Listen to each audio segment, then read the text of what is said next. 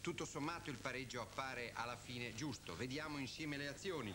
Punizione di Di Bartolomei, gran botta, Zenga la vede all'ultimo momento e respinge di piede.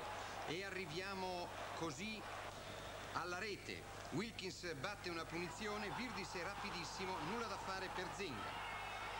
Sull'altro fronte Rumenighe oggi molto attivo, tenta da lontano.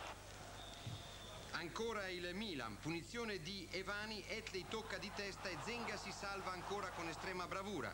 Corner, batte Verza, entra Battistini che coglie in pieno la base del palo.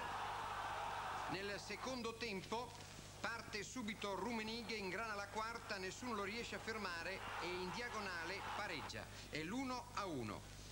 Poi ancora tenta da lontano Rumenighe senza fortuna e arriva il gol del 2 a 1 e Altobelli lestissimo di testa a trovare l'angolo giusto. Sull'altro fronte Zenga è rimasto in campo infortunato, Verza fa tutto da solo, supera il portiere dell'Inter e porta l'Inter al pareggio. Rumenighe è uscito per un infortunio, gli hanno dato qualche punto di sutura ma non ci dovrebbe essere nulla di grave. È tutto a te Paolo Valenti.